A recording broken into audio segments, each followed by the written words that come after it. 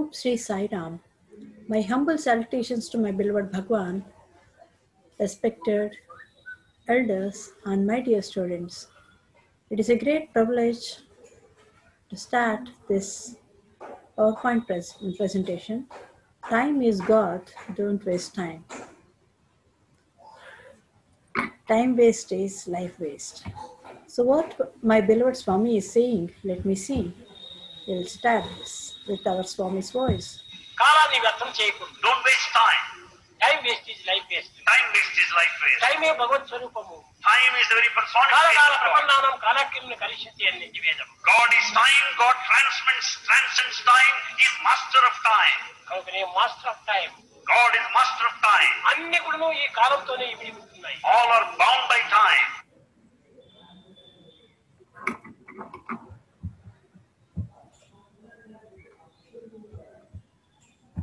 ఈనాటి గురువులు బాధ గురువులు బోధ గురువులు అనే రెండు Today we have two types of teachers, Badha, pain, Bodha, the teaching. కనుక నేను బోధ గురువులు చిక్కటం చాలా కష్టంగా ఉంది It's difficult to have the preceptors of noble teaching. కనుక చక్కని హృదయ బోధను అందించడానికి ఈ కాలం అనే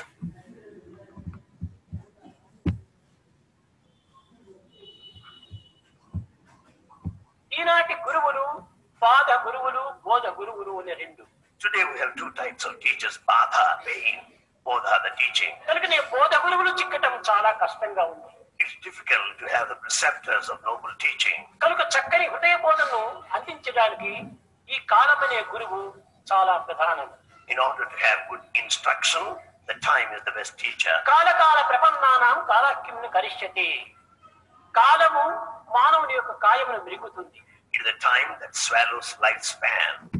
కానీ కాలం కూడాను మృంగేటువంటి వాడు ఈశ్వరుడు But Ishvara is beyond time.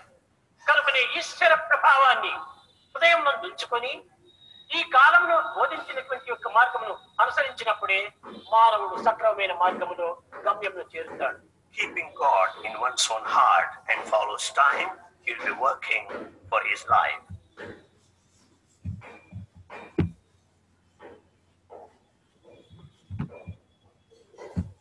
ప్రపంచములో నిజమైన బోధకుడు ఎవరు Who is the real teacher in this world? హృదయమే నిజ బోధకుడు One's own heart is the true teacher. కాలమే నిజ గురువు Time is the true teacher. ప్రపంచమే ఇది అయినటువంటి గ్రంథము World is a book. ఇంకా భగవంతుడే సరి అయిన మిత్రుడు God is the true friend. కనుక మనము సరైనటువంటి బోధకుడి కోసము వెతుకునక్కర్లేదు. So we need not search for a good mister హృదయమే నిజ బోధకుడు heart is the true teacher అది హృదయం అనేటువంటిది కాన్షియన్స్ అన్నారు. The very heart is the conscience ఈ కాన్షియన్స్ను మనం అలవరించినప్పుడు అనుసరించినప్పుడు అది మనకు సరైన బోధగా రూపొందుతుంది.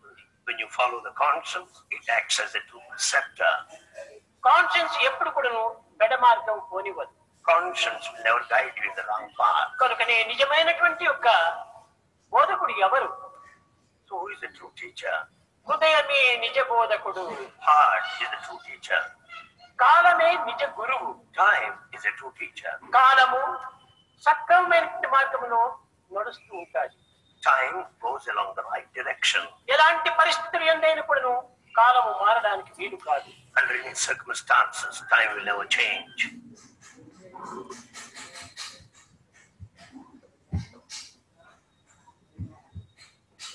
కనుకనే కాలకాల ప్రపన్నానాం కాలాక్యంని కలిష్యతి అన్నారు అనగా ఏమిటి కాలము కాయాన్ని వెలుగుతా ఉంది is the time that swallows this body life. కానీ కాలుడు కాయాన్ని కాలాన్ని కూడా మింగేటువంటి వాడు And the Kala also swallows the time. కనుకనే కాలుడు అంటే ఎవరు Who is Kaludu? అతని దైవము Kaludu is కాలుడు. అంటే ఎముడు అనుకుంటారు కాదు కాదు Kaludu is not Yama. కాలాయ నమ కాల కాలాయ నమ కాల ప్రమలాయ నమ కాలాతీతాయ నమ కాల స్వరూపాయ నమ కాల జీవితాయ నమ అంత కాలమే అతనే కాలుడు Everything is time. Time is God. కనుక మంచి ఇంకా కొంతమంది పిల్లలకు కొన్ని డౌట్స్ ఉంటా ఉంటాయి Some students have some doubts. సూర్యునికి కుమారుడు పుట్టాడు Sun has a son. యముడు సూర్యుని కుమారుడు ఉంటాడు is the son of sun. ఈ పిల్లలందరికీ ఒక విధమైన హాస్యం అవుతుంది students amuse. సూర్యుడికి సూర్యుడికి ఒక భార్య అతనికి ఒక బిడ్డ అతనికి ఒక కొడుకు అతనికి ఒక సంసారం ఇవన్నీ ఎక్కడ ఉంటున్నాయి ఇవన్నీ ఏదో కథలు అని దాన్ని నెట్టివేస్తాడు because what is it? The son has a wife and a family and a కాదు కాదు son. ఇది ట్రూత్ ఇది సత్యం is truth, yes. ఎత్తనగా How? కారుడనగా ఎవరు Who is called? కాలము. ఈ కాలం అనేటువంటిది ఎవరి వల్ల పుడుతున్నది ఎవరి వల్ల వస్తున్నది సూర్యోదయం వల్ల సూర్యాస్తం వల్ల కాలం పుడుతున్నది The time is there because of sunrise and sunset. కనుకనే సన్ రైజ్ అండ్ సన్సెట్ వల్ల పుట్టినటువంటిది కాబట్టి ఈ యొక్క కాలము సూర్యుని కుమారుడు అన్నాడు. As the time is born because of sunrise and sunset, the time is the son of sun. చూడండి తెల్లవారు సూర్యుడు పుట్టినప్పుడు ఆరు గంటలు అన్నాము When once the sunrise, ఇప్పుడు సూర్యాస్తమం ఇప్పుడు ఆరు గంటలు అయింది ఈ ఆరుకు ఆరుకు పన్నెండు గంటలు జరిగిపోయింది so. Sunrise and sunset. ఈ పన్నెండు గంటల కాలం ఎవరి వల్ల జరిగింది Twelve hours. Who is ఎవరి వల్ల? పుట్టింది out of whom? సూర్యుని వల్లనే పుట్టింది It's because of sun. కాబట్టి సూర్యుని వల్ల పుట్టినటువంటిది కాబట్టి కాలము కారుడు అనేటువంటి వాడు సూర్యుని కుమారుడు అన్నాడు Because the time is born to the sun, we say naturally we say that it belongs to sun. కనుక ఈ ఆత్మ సంబంధమైనటువంటి యొక్క అంతరార్థాన్ని గురించి మనం విచారిస్తేప్పుడు అంతా సత్యమే సత్యమే When we think from the spiritual point of view, everything is truth. కనుకని సత్యస్య సత్యం It is truth of truths. ఏ విధమైనటువంటి అంతృత్వం రావడానికి వీలు ఉండదు There is no scope for any kind of కనుక మన whatsoever. పురాణములు ఎందు ఇతిహాసములు ఎందు అనేక విధమైన ఇలాంటి శబ్దాలంతా వస్తుంటాయి In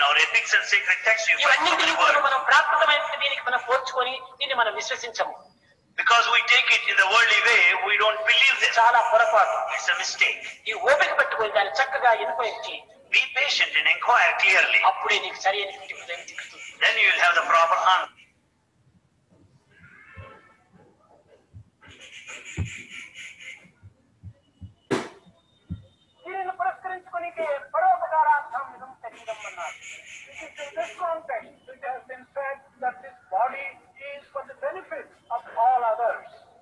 కనుక అతి పవిత్రమైన మానవ జన్మం మనకు ప్రాప్తించినప్పటికీ మనం ఈ సేవల యొక్క పాల్గొనక కాలం వృధాపరుచుకొని కేవలం కొన్ని రకమైనటువంటి యొక్క జీవితం ఇప్పుడు ఎంతో గాల్చుకోవడానికి కూడుకోవటము సాయి సంస్థల యొక్క సభ్యులకు సరైనటువంటి మార్గం కాలేదు While such sacred human birth has been given to us without participating in sacred work, to waste time and to abuse the privilege of this human birth that has been given to us, this cannot be the right conduct for the members of the Satyasai organization.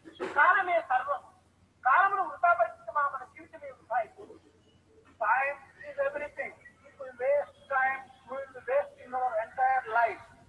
కనుక మనం కాలమును వృధాపరుచుకునేటువంటి కర్మలు ఎందు కొంతవరకు నువ్వు కాలమును సార్థకంగా ఉంచుకోవాలి యొక్క సంకల్పం చేతని వ్యక్తి సేవాదళ యొక్క సభ్యులను కూడా కొన్ని రకమైనటువంటి మార్గంలో ప్రవేశపెట్టి వారిని కొన్ని సార్థకమైనటువంటి కార్యంలో కూడా వారిని వినియోగపరుచుకుంటూ దేశానికి సేవ కావాల్సిన సంకల్పించుకున్నావు so that we may not waste time, so that we may not waste the life that has been given to us in doing work, which means wasting time. We have given, created these Satyasai Seva Dal so that they may participate in useful work.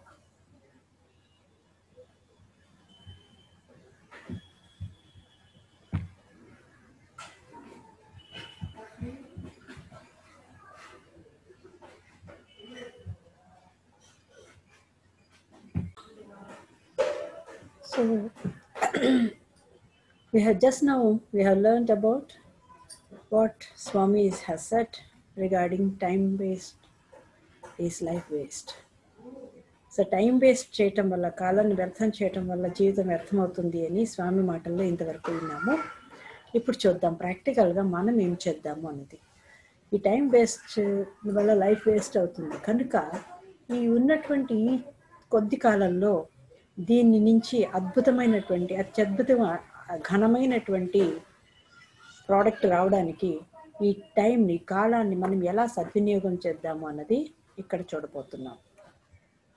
So పిల్లలు మీకు అందరికీ ఒక చిన్న task ఇవ్వబోతున్నాను. ఏంటి అంటే మీరు పిక్చర్లో చూపించింది కనిపిస్తుంది అనుకుంటాను. అక్కడ ఒక జార్ ఇచ్చారు. ఒక మా గాజు సీసా ఇచ్చారు. దాంతో పాటుగా కొంత ఇసుక కొన్ని చిన్న గులకరాళ్ళు అలాగే కొన్ని పెద్ద రాళ్ళు ఇవ్వటం అంటూ జరిగింది. ఇప్పుడు కనుక మనం చూసినట్టయితే మీరు చేయవలసింది ఏంటి అంటే వీటిని దానిలో నింపాలి. వీటిని అన్నిటినీ కూడా దానిలో నింపాలి. సో ఎలా చేస్తారు? ఓకే మొదటి దేంతో నింపుతారు? ఇసుక నింపిది చిన్న రాళ్ళు నింపి పెద్ద రాళ్ళు నింపుదామా?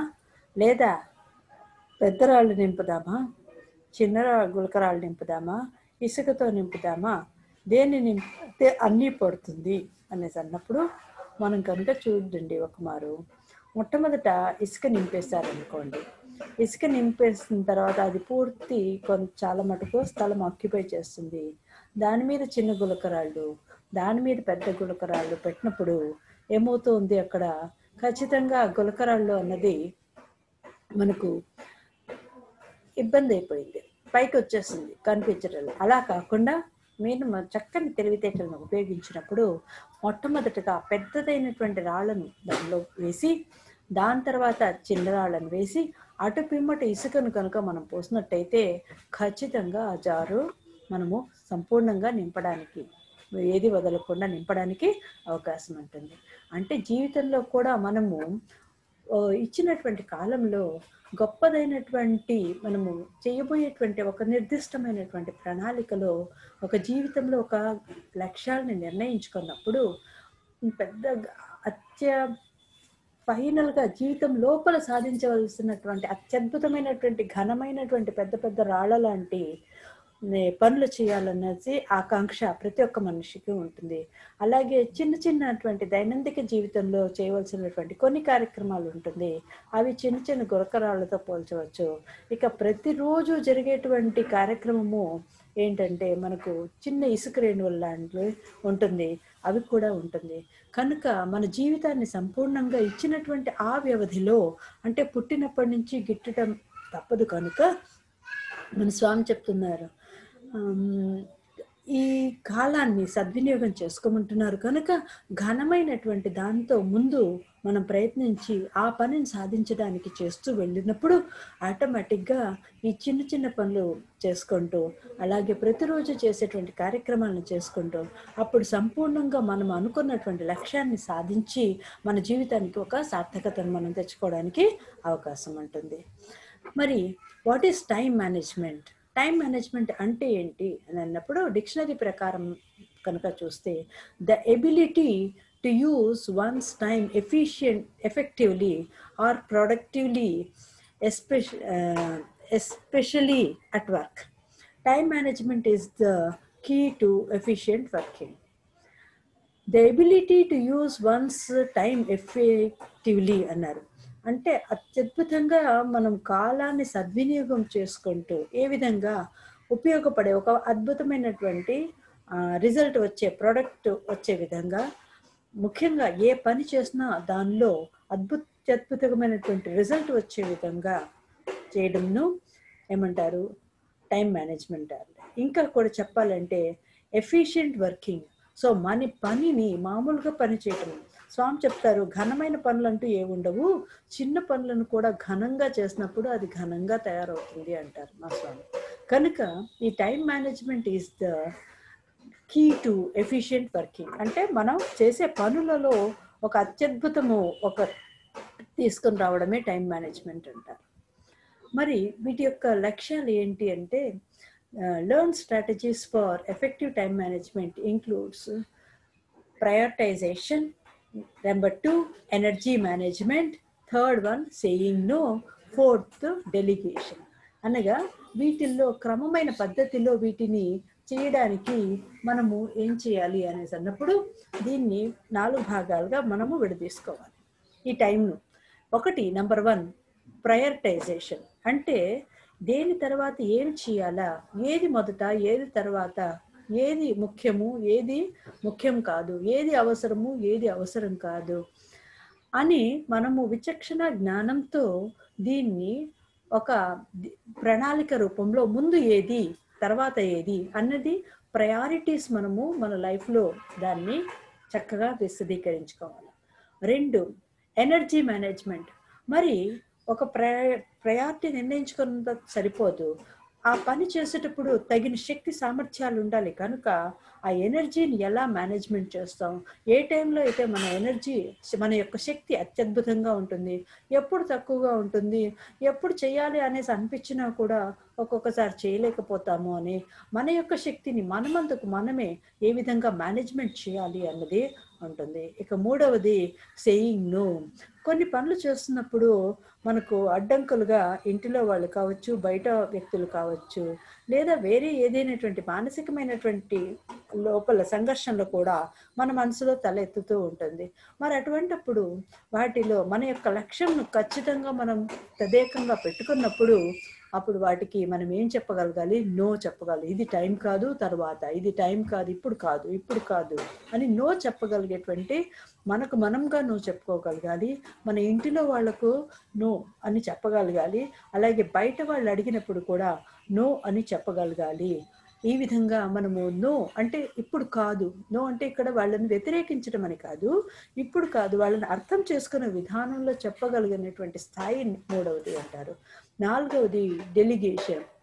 అంటే పనులను వి- విభజించుకోవడము లేదా పనులను ఈ పని వీరికి అప్పచెప్పినప్పుడు వీరి ద్వారా డెలిగేట్ చేయబడుతుంది. చక్కగా వాళ్ళకు చేత కూడా చేయించబడగలుగుతాము అని ఈ విధంగా నాలుగు రకాలుగా దాన్ని మనము దాన్ని మేనేజ్ చేసుకోవడానికి మనము సిద్ధంగా ఉండాలి. మరి స్వామి ఏం చెప్పినారు? Letter to the young adults Swami ఒకనొక కాలంలో స్వామి రాసినారు మై డియర్ స్టూడెంట్స్ అంటూ remember something enjoy every single second at know your priorities. You can do everything in life with good time management and love. You can achieve great feats. Make the most of your time. అని సత్యసాయి బాబా వారు చెప్పారు remember something so ఎప్పుడు జ్ఞాపకం పెట్టుకోండి పిల్లలు ప్రతి సెకండ్ను కూడా చక్కగా ఆనందంగా గడపండి. కానీ అలాగే ఆనందిస్తూ మనకు చక్కటిగా వాటి యొక్క ప్రయారిటీస్ ప్రణాళికాబద్ధంగా ఏది ముందు ఏది వెనకాల అన్నది విశ్లేషించుకోమని అంటున్నారు. అప్పుడు ప్ర- మన జీవితంలో అన్ని పనులను సరైన సమయంలో సరైన ప్రణాళికాబద్ధంతో వాటిని ప్రేమతో అన్నిటినీ మనము చేయగలుగుతాము అంటూ సో గొప్పదైనటువంటి ఘనమైనటువంటి సాధ్యం కాలేదు అన్న పనులను కూడా చక్కగా వాటిని నిర్వహించేటువంటి శక్తి సామర్థ్యాలు వస్తుంది. కనుక మన యొక్క కాలాన్ని అద్భుతంగా రాణించుకోండి. వాటిని అద్భుతంగా దాన్ని మలుచుకొని దాన్ని ఉపయోగించుకోండి అని మన బా స్వామి మనకు చెప్తున్నారు. అగే Sathya Sai Baba's words a nation's prosperity is dependent on how people use their time in the performance of good actions. The challenge for humanity is lack of clarity, motivation, and laziness. You may be intelligent, but if you do not act, nothing is going to happen. This denies us the ability to offer our gifts to the world. Time wasted is life wasted. Satya Sai Baba, Divine Discourse on 7th April 1997. So భా భగవంతుడు ఇచ్చినటువంటి తమ దివ్య సందేశంలో April ఏడు పంతొమ్మిది వందల తొంభై ఏడులో ఇలా చెప్పారు ఒక దేశం యొక్క అభివృద్ధి ఏ దేని మీద ఆధారపడుతుంది అంటే ఆ దేశంలో ఉన్నటువంటి ప్రజలు తమ కాలమును ఎంత అద్భుతంగా దాన్ని ఉపయోగించుకొని మంచి మంచి పనులు చేస్తారో దాని ఆధారంగా ఒక దేశం యొక్క అభివృద్ధి ఆధారపడి ఉంటుంది అంటున్నారు. ఇప్పుడు ఉన్నటువంటి మానవాళికి ఉన్నటువంటి అతి గొప్పదైనటువంటి ఛాలెంజ్ ఏమి అంటే ముఖ్యమైనటువంటిది ఒక స్పష్టత అన్నది ఇప్పుడు కోరబడింది. ఏది స్పష్టత? అన్సర్టినిటీలో అయిపోవడంతో ఇప్పుడు ఒక ముఖ్యంగా ఇప్పుడున్నటువంటి పరిస్థితుల్లో ఒక స్పష్టత అన్నది మనిషికి దొరకడం లేదు. అలాగే ఆ మనిషిలో ఒక మోటివేషన్ అనేది తగ్గిపోయింది. అలాగే లేజినెస్ ఎక్కువగా అంటే బద్ధకం అనేది చాలా ఈ బద్ధకం జయించడం అన్నది తనను తానుగా ఉత్తేజం పరచుకోగలిగింది. తనకు తానుగా తన ఆలోచనలలో తన మాటలలో తన చేతలలో ఒక స్పష్టత అన్నది ఒక పెద్ద ఛాలెంజ్గా ఈరోజు మానవాళికి ఏర్పడుతుంది. నీవు చాలా తెలివైన గొప్ప తెలివైనవంతుడు అయి ఉండవచ్చు. కానీ సరైన కార్యాచరణ లేనప్పుడు ఏ పని కూడా జరగదు. ఏ అభివృద్ధి కూడా జరగదు. ఇది మనకు ఏం జరుగుతుంది? ఇలా జరగడం వల్ల ఏమి ప్రపంచానికి నాదైనటువంటి ఏది కూడా సమర్పించడానికి ఒక గిఫ్ట్గా ఇవ్వడానికి ప్రపంచానికి ఏది ఉండదు. కనుక టైం కనుక వేస్ట్ చేసుకుంటే జీవితమే వేస్ట్ అవుతుంది అని మన స్వామి మరలా మరలా చెప్పున మరలా మరలా చెప్తూ ఉన్నారు. What is the your biggest time management challenge so ఈ టైం మేనేజ్మెంట్ ఛాలెంజ్లో ఉన్నటువంటి ఛాలెంజెస్ ఏంటి అనేసి అంటే ప్రో ఏ ప్రోక్రాస్టినేటింగ్ సేయింగ్ నో డెలిగేటింగ్గా ప్రయారిటైజింగ్గా లేకపోతే అదర్స్ ఏముంది ఎట్లా అనేసి మనం చూసుకుంటున్నప్పుడు ఓకే మనము మేనేజ్ అంటే ఎక్కువగా ఫ్యూచర్ గురించి ఆలోచిస్తూ ఉంటాము లేదా నో అని చెప్పుకుంటూ ఉంటాము లేదంటే డెలిగేట్ చేయటంలో వీటిని మనము మిస్ అవుతూ ఉంటాము.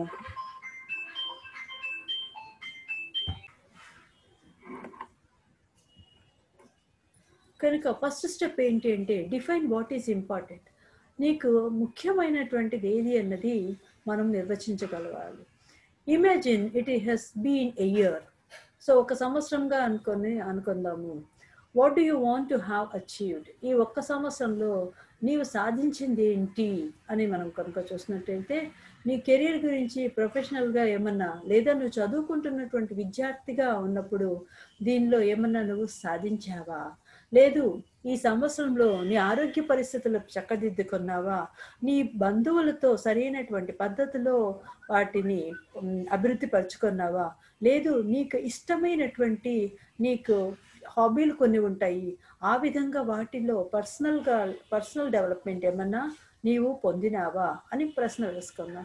ఇక మూడవది ఆధ్యాత్మిక పరంగా మనకు భగవంతుడికి ఇష్టమైనటువంటి యావత్ ఇన్ని కోట్ల మంది ఉన్నప్పటికీ కూడా మన నిన్నే ఎంచుకొని నిన్నే ఎక్కువగా పలుకుతడము చేయడము అంటే ఏ విధంగా ఆ అత్యద్భుతమైనటువంటి ఘనమైనటువంటి శక్తి స్వరూపంతో మనము అనుసంధానం అవుతూ పనులు చేసుకుంటున్నామా? ఈ విధమైనటువంటి మూడు విధాలుగా కూడా ఏమన్నా achieve చేసుకున్నామా? Then right down one or two three goals. What are the big rocks in your life? So ఇలా ప్రశ్న వేసుకొని అలాగే రాబోయేటువంటి సంవత్సరంలో కూడా నీవు నీ చదువుకుంటున్న ఒక విద్యార్థిగా లేదా ఒక కెరియర్లో నీవు ప్రొఫెషనల్గా ఏమన్నా డెవలప్మెంట్ చేసుకోవాలనేసి అనుకున్నావు? వాటి గురించి ఒక మూడు ఉద్దేశాలు రాసుకోండి.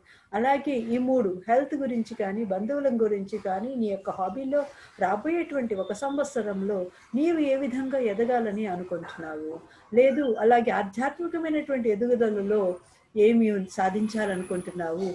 అని ఒక ప్రణాళిక ఒకటి నుంచి మూడు లేదా మూడు గోల్స్ మనము నిర్ణయించుకొని మరి ఇవి చేసుకుంటున్నప్పుడు వాటికి మనకు అడ్డుగా ఉంటున్నటువంటి ఆ బిగ్ రాక్స్ ఏంటి? అన్నది మనము గమనించుకోవాలి. రెండవది as we spend our day so we spend our lives మనము మన కాలాన్ని ఏ విధంగా మనము అనుసరిస్తూ వస్తామో ఆ విధంగా మన జీవితము తయారవుతుంది. So step two create actionable steps మనము ఏ పని చేయగలుగుతామో అటువంటివి చేయగలగాలి. అంతేగాని ఈరోజు ఏకంగా నేను చంద్రమండలం పైన ఎక్కి కూర్చుంటాను అనే అట్లాంటి పద్ధతులు అని కాకుండా గోల్ ఉండవచ్చు. కానీ మనము చెయ్యగలనటువంటి స్థాయిని కూడా కొంచెం గమనించుకుంటూ అప్పుడు మెల్లమెల్లగా మెల్లమెల్లగా అది కూడా పొందవచ్చు. ఓకే? కానీ చేయగలిగినటువంటి ముందు కొంచెం జాగ్రత్తగా స్టెప్ టూలో మనం చూడాలి. Keeping your big goals in mind how can you break them into actionable steps that you can complete each day or each week ఇంతకుముందు చెప్పాను ఎస్ చంద్రమండలం పైనకి ఎక్కాలి. ఓకే బాగుంది. అది చాలా పెద్ద గోల్ మరి అంతటి పెద్ద గోల్ను వెళ్ళాలి అంటే మరి ఒక మనిషిగా ఫిజికల్గా నీ బాడీకి దానికి తగ్గట్టుగా మనం సినిమాల్లో చూస్తూ ఉంటాము. ఒక రాకెట్లో వెళ్తున్నప్పుడు చేసినప్పుడు మనిషి వెయిట్లెస్గా తయారవుతాడు కాబట్టి అప్స్ అండ్ డౌన్ అవ్వడము ఇలాంటివన్నీ కూడా ఏదో జరుగుతూ ఉంటుంది. కనుక ఆ స్టేజ్కి వెళ్ళాలి చెయ్యాలి అంటే ఏమేమి చేయాలి ఎక్కడెక్కడ దానికి తగినటువంటి వనరులు దానికి కావలసినటువంటి జ్ఞానము దానికి కావలసినటువంటి ఒక బాడీకి ఫిట్గా తయారయ్యే పద్ధతిలో దాన్ని మనం ఏర్పరచుకోగలుగుతున్నాము? సో ప్రతి ఒక్కరికి ఒక్కొక్కరికి ఒక్కొక్క గోల్ ఉంటుంది. అది పెద్దదైనటువంటి రాక్ లాగా. మరి అది చేయడానికి ఏర్పడుతుంది ఈ రోజు అది ఒక రోజులో కొన్ని సంవత్సరాలు పట్టవచ్చు లేదా కొన్ని జీవితాలు కూడా పట్టవచ్చు. అటువంటప్పుడు చిన్న చిన్నగా అది రీచ్ అవ్వడానికి ప్రణాళికాబద్ధకంగా చిన్న భాగాలుగా విడదీసుకొని ప్రతిరోజు ప్రతి వారము ప్రతి నెల ప్రతి సంవత్సరము ఆ దిక్కుకు ఆ డైరెక్షన్కు మనం వెళ్ళాలి అనేటువంటి పనులు అనుకోవడమే కాకుండా చిన్న చిన్న పనులతో మనము దాన్ని చేసుకుంటూ ముందుకు వెళ్ళాలి. Step three. so in step three, what we are going to do? How are we going to manage this task?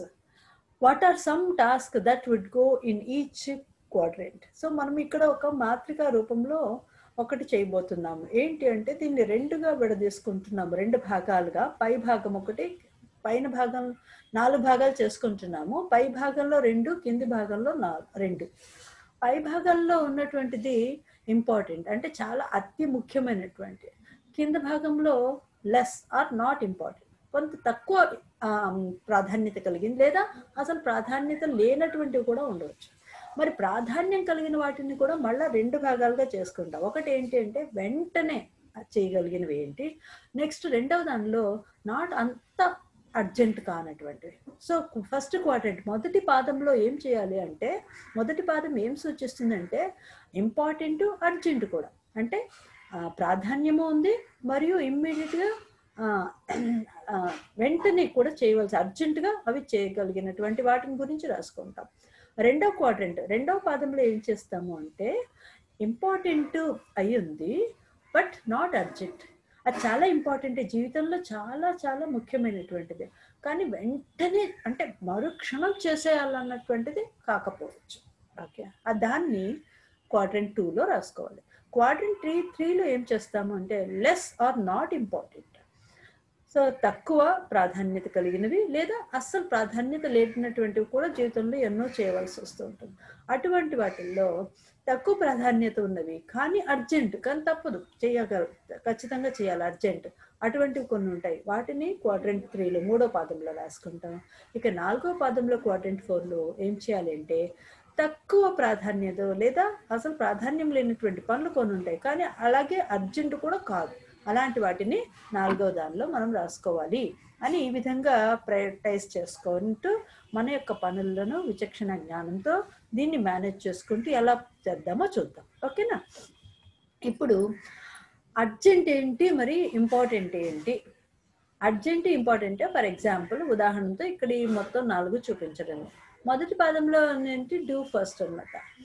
First ఏం చేయాలంటే accounting assignment buying kitchen appliances అన్నారు సింపుల్గా చెప్పాలంటే ఒక బిజినెస్ మ్యానే ఉన్నాడు అనుకుందాము. లేదా ఒక పెద్ద ఇంపార్టెంట్ ఫర్మ్కు మేనేజ్మెంట్ మేనేజర్ అనుకోండి. అప్పుడు ఏం చేస్తాము? అకౌంటింగ్ అసైన్మెంట్స్ అకౌంటింగ్ అనేసి అంటే మరి ఎంత వచ్చింది? రాబడి ఎంత? ఎంత పోతుంది? లేదా మనకు ఇచ్చినటువంటి అసైన్మెంట్ ఏముంది? ఇది ఇమ్మీడియట్గా అనమాట అలాగే మనకు డే టు డే లైఫ్లో అనమాట ఖచ్చితంగా మనకు ఆహార్థం బో ఉదర పోషణార్థం అనమాట మనం తినకుండా ఉండలేము. కనుక ఆ విధంగా కడుపులో ముద్ద చల్లగా కదలకుండా ఉంటే మనకు ఆలోచన వ్యవహారం కూడా ఉంటుంది. కనుక ఈ తిండి మీద కూడా మనకు ఇంపార్టెంటే. అది నువ్వే చేయవచ్చు లేదా వేరే వాళ్ళ ద్వారా అది టైంకి ఖచ్చితంగా అనమాట ఇక్కడ కిచెన్ అప్లయన్సెస్ అనేసి అని చెప్పడంలో ఆ, ఒక మంచి ఉన్నాయనుకోండి వాటికి సంబంధించింది. అంటే తక్కువ టైంలో మనం ఎక్కువగా బోల్డ్ని పనులు తొందర త్వరగా చేసుకోవచ్చు. మరొక విద్యార్థిగా ఏం చేయాలి అనేసి అనేసి అన్నప్పుడు మనకి ఇచ్చినటువంటి అసైన్మెంట్స్ డ్యూ డేట్ ఉంటుంది లాస్ట్ మినిట్లో పరిగెత్తి అప్పుడు సబ్మిషన్ అని కాకుండా ఇమ్మీడియట్గా మొదట వాటిని చేసేసి పెట్టేసుకున్నాం అనుకోండి. ఇంకా ఏదన్నా అంటే వండర్ఫుల్గా బెటర్గా దాన్ని అప్లై చేసుకుని సబ్మిట్ చేయడానికి ఉంటుంది.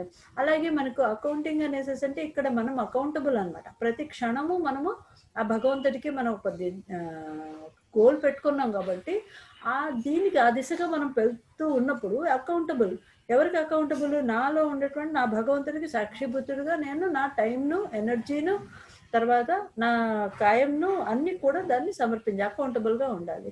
తర్వాత ఉదర ఇంతకు ముందే చెప్పాను తిండి విషయంలో ఎట్టి పరిస్థితుల్లోనూ మనం దాన్ని సరైన టైంకి అది తీసుకోవడం అన్నది ఇంపార్టెంట్ అండి. ఇక ఈ అంటే కొంతమంది పని ఒత్తిడిలో ఏం చేస్తామంటే కిచెన్ అంటే ఇక్కడ తిండి విషయంలోనూ తర్వాత రిలాక్స్ అవ్వడం విషయంలోనూ కొంత మనము వదిలిపెడుతూ ఉంటాం. అలా కాకుండా తిండి ఇది కూడా మనం జాగ్రత్తగా టైం తీసుకోవడం అన్నది కావాలి. ఇక రెండో క్వాడ్రెంట్ సెకండ్ క్వాడ్రెంట్లో వచ్చేటప్పటికి ఏంటి? ఇంపార్టెంట్ చాలా ప్రాధాన్యం కలిగింది. కానీ వెంటనే మరుక్షణమే చేసేయాలంటే ఉండకపోవచ్చు. డూ నెక్స్ట్ ఏంటంటే సాధన. ఒకటి నేర్చుకోవాలంటే ఒక స్కిల్ నేర్చుకోవాలి అంటే ఫర్ ఎగ్జాంపుల్ ఇదే పవర్ పాయింట్ ప్రజెంటేషన్ చేయాలనుకోండి సాధన.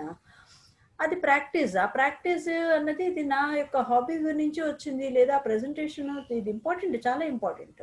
నాకు ఐడియల్ బోల్డ్ అని ఉన్నాయి కానీ ప్రజెంట్ చేయాలి అంటే నాకు మరి దానికి సంబంధించినటువంటి ప్రాక్టీస్ కావాలి అంటే వెంటనే అంతా అర్జెంట్ ఏం కాదు బట్ మనం టైంలో చూసుకుని దాన్ని విడదీసుకొని ఏ టైంలో చేస్తే బాగుంటుందో అన్నది అలా ప్రాక్టీస్ చేసుకోవాలి సాధన లేదు మనం స్పిరిచువల్గా పర్సన్ అది నా ఎదగాలి అనేసి అనుకోండి అది కూడా ఇంపార్టెంట్ చాలా చాలా ఇంపార్టెంట్. ఎందుకంటే ఒక వయసు వచ్చేంత వరకు ఓకే సిక్స్టీ సెవెంటీ ఎయిటీ వరకు కూడా తన పనులన్నీ తనే చేసుకుంటూ ఉండగలుగుతాడు అనుకుందాం. Eighty years. ఎయిటీ తర్వాత సమ్వేర్ ఎక్కడో ఒక స్టేజ్ వస్తుంది. ఫిజికల్గా పనులు చేయలేము. అప్పుడు మనం ఏం చేయగలి మైండ్తోనే మన యొక్క పనులు అన్నీ కూడా మనం చేయగలగాలి. అంటే అప్పుడు ఏం చేయాలా? సాధన. అంటే మైండ్ని అప్పుడు మనం ట్యూన్ చేసామా ఇప్పటి నుంచి ఆ ట్యూన్ చేయకపోతే ఆ సాధన అంటే రోజు కొంచెం సేపు అన్న రిలాక్స్డ్గా కొంచెము ఆ హయ్యర్ ఎనర్జీ లెవెల్స్ గురించి మీ దాని మీద కాంటెంప్లేట్ చేయకున్నప్పుడు దాని గురించి ఆలోచించలేనప్పుడు అటువంటి సాధనలు చేయలేనప్పుడు ఇబ్బందికరమైన అవుతుంది. సో మనం కూడా అది అంటే ఈ సాధన అన్నది ఎటువంటి సాధనన్నా కావచ్చు. దేనికి సంబంధించిన ఇష్టాన్ని బట్టి ఉంటుంది. అలాగే ఎక్సర్సైజ్. బాడీ ఫిట్గా ఉంటే వివేకానంద స్వామి చెప్పారు a healthy body gives a healthy mind అనేసి. బాడీ స్ట్రాంగ్గా ఉన్నప్పుడు అక్కడ మనకు హెల్దీ మైండ్ ఉంటుంది. మైండ్ బాగానే ఉంది కానీ వీక్ అయిపోయినప్పుడు మనకు తెలియకుండానే మనలో ఉన్నటువంటి కామక్రోధ లోభ మోహం అది ఆశ్చర్యాలు అన్నది మన మాటల ద్వారా అది మనకు కొంచెము ఇబ్బందికరమైనటువంటి వాతావరణం మనకు తెలియకుండానే మనము క్రియేట్ చేసుకుంటాం కనుక ఎక్సర్సైజ్ చేయడము అన్నది అభ్యాసం.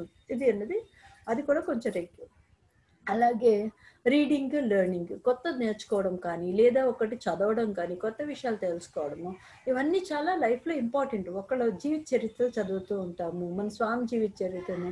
ఆ వయసులో స్వామి ఏం చేస్తున్నారు తర్వాత ఏమేం చేస్తున్నారు ఒక చిన్న మ- ఒక మనిషిగా ఉండి అతి తక్కువైన ఎనభై ఐదు సంవత్సరాల్లో ఇంత ప్రపంచంలో నలు దేశాల్లో పలు దేశాలలో కూడా స్వామి యొక్క ప్రేమ తరంగని ప్రవహిస్తూ ఉంది అంటే మరి ఎంత అద్భుతంగా ఆయన తన జీవితాన్ని మలుచుకుంటూ ఎంత ప్రణాళికాబద్ధకంతో చేస్తుంది. మరి ఇటువంటివి చదువుకుంటూ ఉన్నప్పుడు అప్పుడు ఏమవుతుంది అంటే మనకు తెలియకుండా మనలో నుంచి ఒక అద్భుతమైనటువంటి ఒక శక్తి బయటకు వస్తుంది. అందుకోసం చదవడము అన్నది మనకు స్వామి నైన్ కోడ్ ఆఫ్ కాంటాక్ట్లో రోజు కనీసం ముప్పై నిమిషాలన్నా చదవాలి అనేసి అన్నారు. ఇది చాలా చాలా ఇంపార్టెంట్ కానీ ఇమ్మీడియట్గా ఇప్పుడు వంట చేయాలా? వంట చేయడం మానేసి నేను చదువుకుంటూ కూర్చుంటాను అట్లా అంటే కుదరదు. వంట చేయాల్సిందే. సో అట్లా అన్నమాట. సో ఇది మళ్ళీ తర్వాత అంత అర్జెంట్ అలాగే లెర్నింగ్ లెర్నింగ్ అనేది అభ్యాసం కోసి విద్య అన్నారు. సో అభ్యాసంతో అనమాట అనుభవైక్య జ్ఞానం అన్నది మెల్లమెల్లగా మెల్లమెల్లగా ప్రతిరోజు వాటిని మనము అభివృద్ధి చేసుకుంటూ రావాలి. అలాగే connecting with proofs and then companies so మనం అనమాట ఎవరితో కనెక్ట్ అవుతున్నాము వీళ్ళని అనేది కంపెనీలతో వీళ్ళు చేసుకుంటున్నాము లేదా మన చుట్టూ ఉండేటువంటి సాంగత్యము ప- మనుషులు అందరు ఎలా ఉన్నారు ఇవన్నీ కూడా మనం జాగ్రత్తగా చేసుకుంటూ రావాలి. ఇక మూడవ పాదం. Less or not important quadrant త్రీలో వచ్చేటప్పటికి డెలిగేట్ డూలిస్ లేదా డెలిగేట్స్ దీన్ని um, డెలిగేట్ చేయగలగాలి.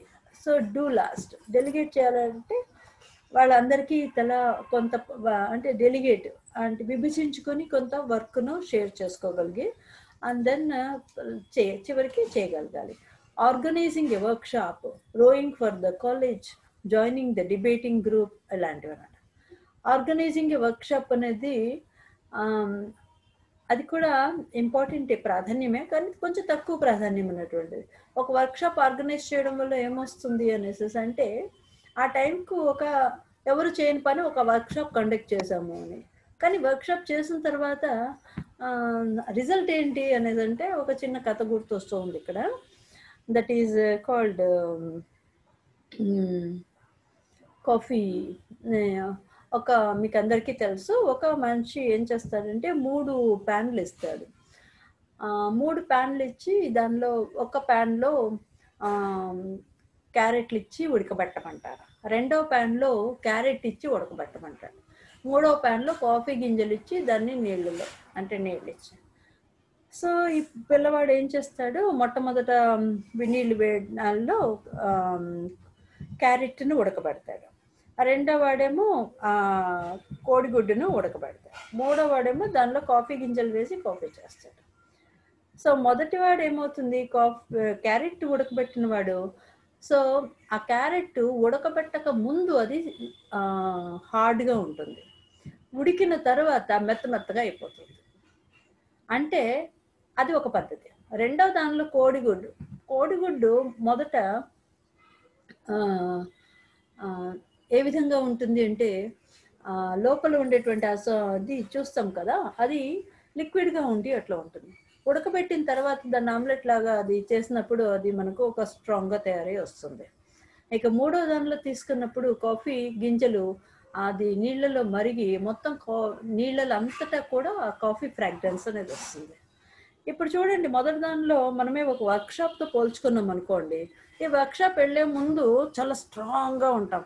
ఏదో తర్వాత పక్కన వాళ్ళు మాట్లాడని బట్టి లేదా అక్కడ వాళ్ళు చూపించినటువంటి ఘనమైనటువంటి పనులను చూసి అయ్యయ్యో వాళ్ళందరూ బోల్డ్ అని చేసేసారు నేనేమి చేయలేకపోతున్నాను. అయ్యయ్యో వాళ్ళు చేశారు నేను చేయలేదు. వాళ్ళు చేశారు నేను చేయలేదు. లేదా వాళ్ళకు వచ్చు అవన్నీ నాకు రాదు. అని ఇలా పోలికతో మొదట స్ట్రాంగ్గా ఉన్న మనిషి ఒక వర్క్షాప్ వెళ్ళి వచ్చిన తర్వాత డల్గా అయిపోతాడు. లేదా అక్కడ ఎవరన్నా మాటల ద్వారా అన్నప్పుడు అట్లా. రెండో వ్యక్తి ఏమవుతుంది అంటే కోడిగుడ్డులాగా అంటే మొదటిన్నప్పుడు మెత్త మెత్తగా ఉంటాడు వాడికి ఏం తెలియదు కానీ ఒక వర్క్షాప్ వెళ్ళిన తర్వాత బయటకు వచ్చేటప్పుడు స్ట్రాంగ్గా తయారై వస్తాడు. అంటే చక్కగా విషయాలన్నీ నేర్చుకొని దాన్ని బయటకు వస్తాడు. కానీ మూడవది వర్క్షాప్ లాంటిది తీసుకుంటే కాఫీ అలాంటిది ఉండాలి. అంటే చక్కగా అందరితో సామరస్యంగా కలిసిపోయి అత్యద్భుతమైనటువంటి మంచి ఫ్రాగ్రెన్స్ దాని నుంచి వచ్చినట్టు అలా ఉంటుంది. సో లాంగ్ రన్లో ఇవి ఆర్గనైజ్ అంటే ఒక కొన్ని యాక్టివిటీస్ అంత ప్రయారిటీ ఇంపార్టెంట్ కాదు. కానీ అర్జెంటుగా మరి చెయ్యాలి. ఒక సంస్థలో ఉన్న తర్వాత లేదా ఒక కాలేజీలో ఉన్న తర్వాత ఇప్పుడంతా పిల్లలు కూడా తమదైనటువంటి శైలిలో ఒక ప్రజెంటేషన్ చేయాలి వాళ్ళు నేర్చుకున్నటువంటిది కాలేజ్ స్కూల్లో చెప్పాలన్నా కాలేజ్లో చెప్పాలన్నా చాలా అద్భుతంగా చెప్పగలగాలి చేయాలి. అది ఇంపో అర్జెంట్ చేయాల్సిందే అనమాట సో ఈ విధంగా ఉంటుందన్నమాట. సో అదేం అంత ఇంపార్టెంట్ కాదు లైఫ్లో కానీ ఒక విధమైనటువంటి అవి అర్జెంట్ కూడా చేయవలసి వస్తుంది. సో దట్ వాటికి మార్కులు వగేరా వగేరా. దాని నుంచి మంచి ర్యాంక్ వస్తే కాలేజ్కు మంచి ర్యాంక్ గ్రేడ్ వస్తే ఆటోమేటిక్గా మంచిగా పిల్లలు తయారైతే కొంత ఫండ్స్ వచ్చేది. ఇట్లాంటివన్నీ కూడా ఉంటుంది. అలాగే ఇక నాలుగవది వచ్చేసేటప్పటికే ఫోర్త్ క్వార్టర్లో అవాయిడ్ ఆర్ మినిమైజ్ సో వీలైతే వదిలిపెట్టేసి లేదంటే కొంచెం తగ్గించండి ఆ పనులను. ఏంటది అంటే సోషల్ మీడియా. ఇప్పుడు అందరికీ ఫేస్బుక్ అకౌంట్లు ట్విట్టర్ అకౌంట్లు అని చెప్పి ఇవన్నీ ఉన్నాయి. రోజుకి ఎన్ని చూస్తూ ఉంటాము? త్రీ ఫోర్ అవర్స్ దాంతో స్పెండ్ చేస్తుంటే కోటి కోటి అని తిప్పడంలో అయిపోతుంది. సో అలాగే టీవీ కానీ యూట్యూబ్లు కానీ ఏదో ఒకటి ఇట్లా మనం అన్నీ పెట్టేచేస్తూ వాటిని చేస్తున్నాం. అవి తీయకుండా ఉండలేము. అవాయిడ్ చిన్న చేయగలగాలి. లేదంటే మినిమైజ్ చేయగలగాలి సో ఎలా ఉండాలంటే ఇప్పుడు ఈ గ్యాడ్జెట్స్ అనేది మనకు ఇంపార్టెంటే కానీ అట్ ది సేమ్ టైము వాటిని ఎప్పుడు ఉపయోగించుకోవాలో అప్పుడు మాత్రమే దాన్ని ఉపయోగించి మిగిలిన టైంలో వాటికి దగ్గరికి జోలికి వెళ్ళకుండా ఉండడము మంచిది. ఈ విధంగా అర్జెంట్ వర్సెస్ ఇంపార్టెంట్ దానికి చక్కటి మాత్రికలో మనము మనం విషయాలను వేసుకోగలగాలి. ఇక how often do you feel like you are busy so చాలా మంది అంటూ ఉంటారు అమ్మ నేను బిజీ అనేసి అంటూ ఉంటారు. మరి ఎల్- ఎప్- ఎప్పుడు చెప్ ఎప్పుడెప్పుడు చెప్తూ ఉంటావు ఇలా నేను బిజీలే అంటే? కొంతమంది అంటారు నేను ఎప్పుడు అట్లా బిజీగానే ఉండను. కొంతమంది అంటారు నవ్వు అంటాను అప్పుడు అప్పుడు అని. కొంతమంది అంటారు more than half of the time సగం కాలం కన్నా ఎప్పుడు నేను బిజీగా ఉంటాను. ఇంకొంతమంది ఉంటారు చాలా మహాత్ములు వాళ్ళు ఎప్పుడు ఉంటారు ఆల్ ద టైం మొత్తం కాలం అంతా ఎంటైర్ డే ఐఎమ్ బిజీ అంటూ ఉంటారు. ఓకే మరి చూద్దాం. How much time do we have మరి నిజానికి మనకు ఎంత కాలం ఉంది? చూద్దాం. రోజుకి ఎన్ని గంటలండి? ఇరవై నాలుగు గంటలు. వారానికి ఎన్ని రోజులు? ఏడు రోజులు. ఇరవై నాలుగు ఇంటూ ఏడు అంటే ఎంత అవుతుంది? Hundred and sixty eight hours వస్తుంది. మరి ఈ రోజుకు మనము ఎన్ని గంటలు చదువుకుంటాము? లేదా ఎంత పనులు చేస్తుంటాము ఆఫీస్లో పనిచేసే వాళ్ళు పోనీ వారానికి ఒక నలభై గంటలు పనిచేసాము అనుకుందాం. తర్వాత మరి రోజుకు ఎన్ని గంటలు నిద్రపోతాము? ఎనిమిది గంటలు. అది ఆరోగ్యానికి మంచిది. ఎన్ని రోజులు? ఏడు రోజులు. ఎనిమిదేళ్ళ యాభై ఆరు. Fifty six hours. సో ఇప్పుడు భగవంతుడు ఇచ్చిన కాలం ఎంత? నూట అరవై ఎనిమిది. దీనిలో మనము పని చేసేది లేదా చదివేది నలభై గంటలు. అలాగే నిద్రపోయేదానికి యాభై ఆరు గంటలు. అంటే వీటిని తీసివేస్తే మనకు ఇంకా కూడా ఒక వారానికి డెబ్బై రెండు గంటలు మనకు మన చేతిలో ఉన్నట్టు. ఒక్కవేళ యాభై గంటలు నేను చదువుతున్న పని చేస్తున్నాను అనేసి అన్నాం అనుకోండి లేదా యాభై గంటలు నేను వారానికి చదువుతున్నాను అందాం అనుకోండి అయినప్పటికీ కూడా అరవై రెండు గంటలు మిగులుతుంది. లేదు లేదు ఇంకొంతమంది అంటారు నేను ఇంకా చాలా బిజీ అండి నేను వారానికి అరవై గంటలు పని చేస్తున్నాను లేదా వారానికి నేను నేను మంచి స్టూడెంట్ అండి అరవై గంటలు చదువుతున్నాను అన్నాం అనుకోండి. అప్పుడు ఎన్ని గంటలు మిగులుతుంది? యాభై రెండు గంటలు మిగులుతుంది.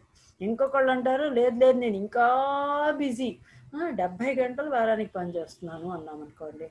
అప్పుడు ఎన్ని గంటలు మిగులుతుంది? ఇంకా కూడా మన చేతిలో నలభై రెండు గంటలు మనకు చేతిలో ఉన్నట్టు. మరి వీటిని ఎలా ఉపయోగించుకుంటున్నాం? ఏం చేస్తున్నాము? అన్నది ఒక మారు ప్రతి ఒక్కళ్ళు క్వశ్చన్ వేసుకోవాల్సినటువంటి ఆవశ్యకత ఉంది.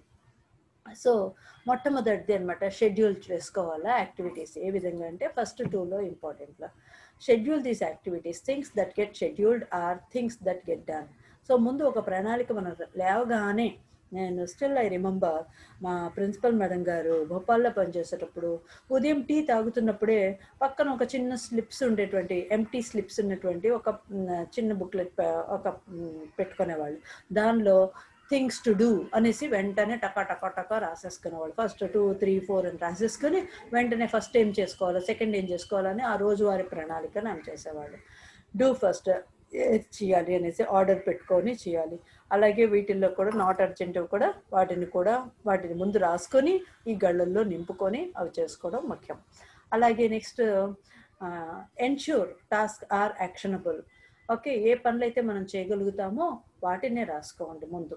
సెట్ టైం లిమిట్స్ సరే పని చేస్తూ ఉంటాం. నాలాంటిది ఉంది ఒక పని పెడుతూ ఉంటే జీవితం అంతా ఇచ్చినా కూడా చదువుతూనే ఉంటుంది.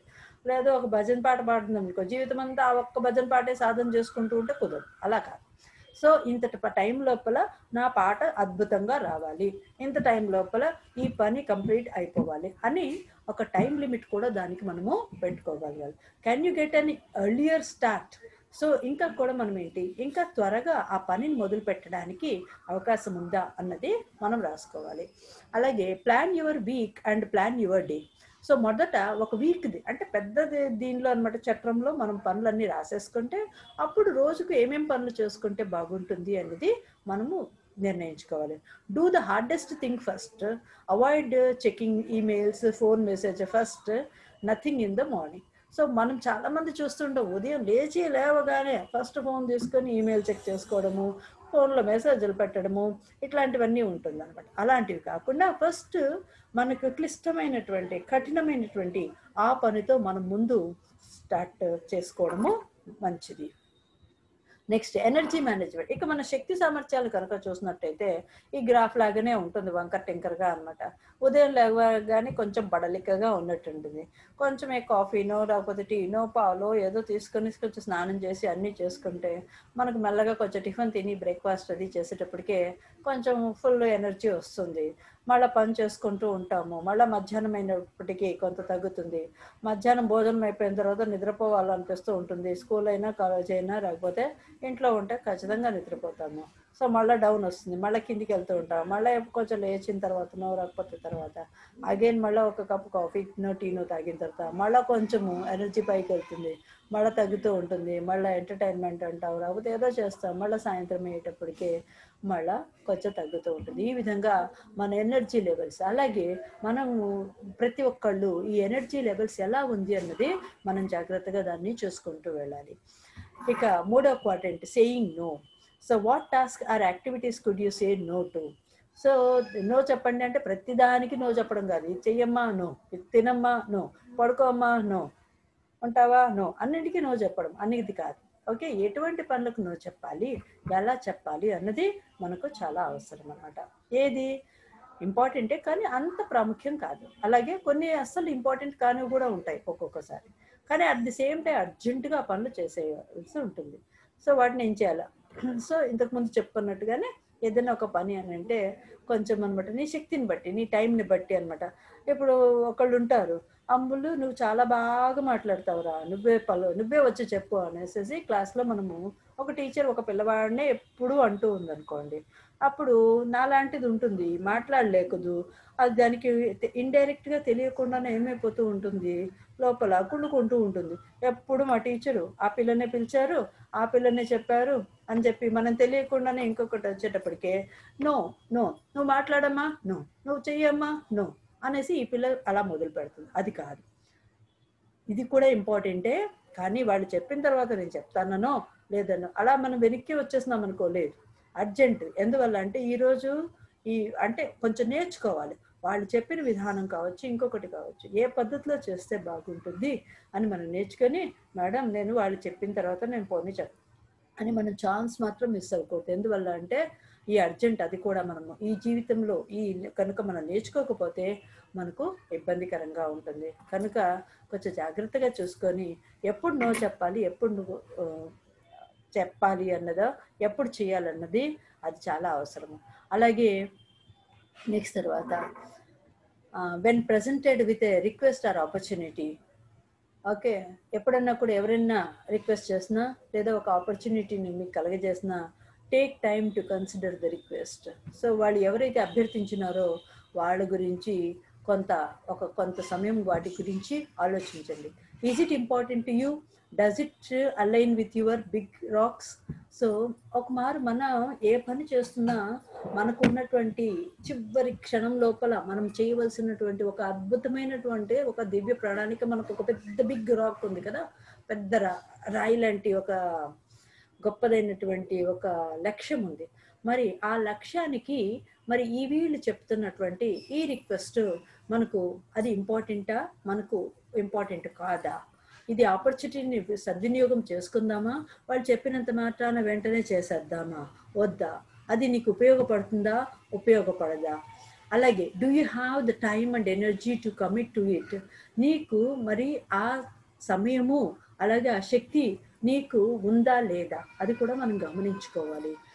And then what is the opportunity cost so ఈ అవకాశము అన్నది యొక్క విలువ గురించి ఎప్పుడన్నా గమనించావా? ఈ అవకాశం ఇచ్చినప్పుడు అందరికీ అవకాశాలు తట్టి రావు. అవకాశం వచ్చినప్పుడు ఎవరైతే దాన్ని సద్వినియోగం చేసుకొని ముందుకు వెళ్తారో వారే ముందు భవిష్యత్తులో చేయగలుగుతారు. సో దానికి నీదైనటువంటి విలువనేమన్నా ఏమన్నా ఆపాదించినావా లేదా అది ఉద్దరగా వచ్చేస్తుందా నీకు ఈ అవకాశము? ఇది కూడా మనం జాగ్రత్తగా దాన్ని ఆ అవకాశాన్ని గురించి చూసుకోవాలి. పిల్లలుగా ఉన్నారనుకోండి ఒక స్టూడెంట్గా ఉన్నప్పుడు మరి ఆ టీచరు చెప్పడము లేదా ఒక పని చెప్పినప్పుడు వీడేదో బాగా చేస్తున్నాడు వీడు ఎలాగో చదువురాదు కాబట్టి వీడికి అన్ని పనులు చెప్దాము అనేసి అనుకుంటూ ఉంటుందా? ఏం చేస్తున్నారు? కొంచెం జాగ్రత్తగా మనం గమనించాలి. Would it be sufficient to help with part of the request or find another person better for it. It so um, వాళ్ళు ఇచ్చినటువంటి అభ్యర్థన మేరకు అది సరిపోతుందా? లేదు దీనికన్నా వేరేటువంటి మిత్రులు కానీ వ్యక్తులు కానీ ఉండి వీరికన్నా బెటర్గా వాటిని కి చెప్పడానికి అవకాశం ఉంటుందా? నాకు రాదండి. నా వీరికన్నా నాకన్నా వీరైతే బాగుంటుందేమో అని నువ్వు చెప్పుతావా? అది మనము వ్యక్తిగతంగా మనము ఆలోచించి చూడవలసినటువంటి ఆవశ్యకత ఎంతైనా ఉంది. నెక్స్ట్ అలాగే delegate task or responsibility as the individual if they are interested can be helpful to include why you are approaching them as the individual వ్యక్తిగతంగా అనమాట నిజంగా వాళ్ళకు అవసరం ఉందా ఇంట్రెస్ట్ వాళ్ళు నిజంగా వాళ్ళలో ఆసక్తి ఉందా? అది ఉపయోగపడుతుందా? వాళ్ళను వెళ్ళ వాళ్ళ దగ్గరికి వెళ్ళటం వల్ల ఉపయోగకరంగా ఉందా లేదా అన్నది కూడా ఒక మారు విచక్షించండి be specific about the task and timeliness అలాగే నీకు ఇచ్చినటువంటి కాలంను ఎంత అన్నది విషయం కూడా గమనించుకోండి. ఆ టైం లోపల వాటిని సంపూర్ణంగా ముగించడానికి ప్రయత్నం చేయండి. ప్రొవైడ్ ఆన్ గోయింగ్ సపోర్ట్ అలాగే దీంతో పాటు కూడా నీకు వీలైతే ఒక నాయకుడిగా ఈ థర్డ్ క్వార్టెంట్లో చేయవలసింది ఏంటి అంటే ఈ విధంగా జరుగుతున్నటువంటి వాటికి నీదైనటువంటి సహాయ సహకారాలు అందచేయండి అలాగే సీక్ ద షేర్ ఫీడ్బ్యాక్ ఒక పని చేసిన తర్వాత దాని యొక్క ఫీడ్బ్యాక్ దాని ఆ పని యొక్క రిజల్ట్ ఎలా ఉంది అన్న అటువంటి ఫీడ్బ్యాక్ అనేది ఎక్కడ కానీ మనం తీసుకోవడం అనేది చాలా చాలా ఆవశ్యకత కలిగి ఉంది. నెక్స్ట్ తర్వాత స్టాప్ డూయింగ్ లిస్ట్ క్వార్టెంట్ ఫోర్లో ఇక్కడ ఏం చేస్తున్నాము అంటే less or not important at the same time they are also not urgent so అస్సలు ప్రాముఖ్యం లేదు లేదా త- తక్కువ ప్రమా ప్రమాణంలో ప్రాముఖ్యత కలిగినటువంటి పనులు అలాగే అస్సలు అర్జెంటుగా వెంటనే చేయవలసినటువంటి పనులు కానటువంటివి ఏవి? What activities can you minimize or not engage with all together so ఎటువంటి పనులు నీవు తగ్గించుకోవచ్చు కొంతవరకు లేదా ఆ పనులను మాత్రం చేయకుండా ఉండడానికి అవకాశం ఉందా? సో ఎటువంటి పనులు అంటే అవాయిడ్ చేయడం అని అంటే మనకి ఇంతకుముందు చెప్పుకున్నట్టు సోషల్ మీడియా టీవీ లేదా యూట్యూబ్ కానీ సమ్ సోషలైజింగ్ అనమాట సో ఈ పని బాగుంది ఈరోజు ఒక యూట్యూబ్ నేను చేసేసాను. ప్రతిదీ ఇంక యూట్యూబ్ చేసుకుంటూ కూర్చుంటాను అంటే నువ్వేమన్నా సినిమా ఫిల్మ్ స్టారా? చేసుకుంటూ కూర్చోవడానికి. అంతకన్నా వేరే గొప్పదైనటువంటి యాక్టివిటీస్ ఉండవచ్చు. కాబట్టి ఎంత కావాలో అంత మాత్రం చేసుకుంటే మీ యొక్క లక్ష్యాన్ని పక్క దాటి వెళ్ళడానికి వీల్లేదు. అది మనము గుర్తుపెట్టుకోమండాలా? అలాగే నెక్స్ట్ యూట్యూబ్ చేయడం ఓకే బాగుంది. ఓకే అది నలుగురికి ఉపయోగపడుతుంది. కానీ కేవలం యూట్యూబ్లో వాచ్ చేయడమే ధ్యేయంగా పెట్టుకుంటే మన టైం అంతా తినేసినట్టు అవుతుంది. అలాగే సోషల్ మీడియా అందరికీ అనమాట గ్యాదరింగ్ ఉండడం ఇష్టమే. ఎక్కువ మంది ఫ్రెండ్స్ ఉండడం ఓకే కానీ ఎంత కావాలో అంతనే. ఆ లిమిట్ ఏదో మనం తెలుసుకొని ఉండగలగాలి.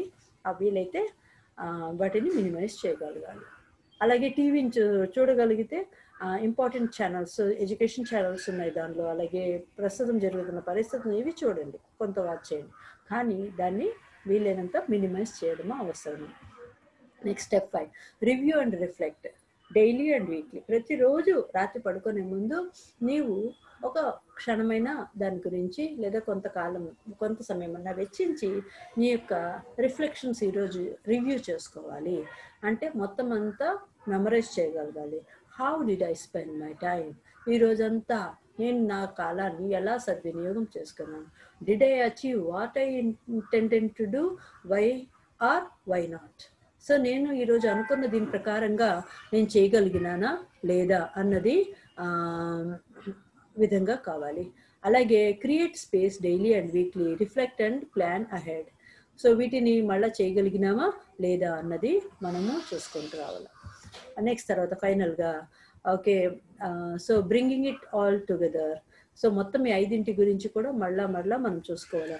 సో ఏది ఇంపార్టెంట్ అనేది రాసుకోవాలి? రెండవది ఏ యాక్షనబుల్ కాలంతో చేయగలుగుతామో అది నెక్స్ట్ తర్వాత ఉన్నటువంటిది చూసుకుంటూ ఇలా మనకు ప్రయారిటైజ్ చేసుకొని మేనేజ్ చేసుకోవడము. నాలుగవది క్రియేట్ అకౌంటబిలిటీ ఐదవది వచ్చేటప్పటికి రివ్యూ చేయడం అన్నటువంటి ఐదు స్టెప్పులు ప్రతి పనిలో కూడా జాగ్రత్తగా మనం చేసుకుంటే బాగుంటుంది. నెక్స్ట్ తర్వాత సో ఫైనల్గా స్వామి చెప్పేది ఏంటంటే you should sit in meditation for twenty minutes a day unless you are too busy then you should sit for an hour అట్లా అనేసి. సో మనకు దీనిలో చెప్పినట్టు అర్థంజుమ్ సాయి తన యొక్క విషయాలు షేర్ చేసుకున్నారు. తపోవనంలో కూడా అందరూ చదివి ఉంటారు. ఆయన ప్రతిరోజు మూడు గంటల సేపు మెడిటేషన్ చేసేవాళ్ళట.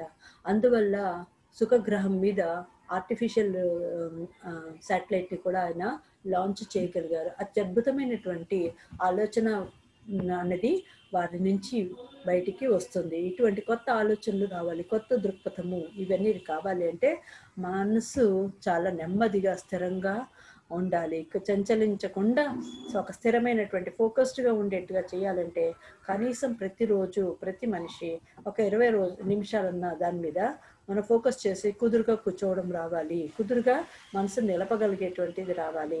అప్పుడు ఒకవేళ అంత బిజీ షెడ్యూల్ కనుక లేకపోతే మెల్లగా ఈ సాధన ఒక గంట వరకు ప్రయత్నం అంటూ చేస్తే ఇప్పుడున్నటువంటి పరిస్థితులు తట్టుకోవడానికి అవకాశం ఉంటుంది. కనుక చక్కగా మనం చేద్దాం. సో ఈ అవకాశం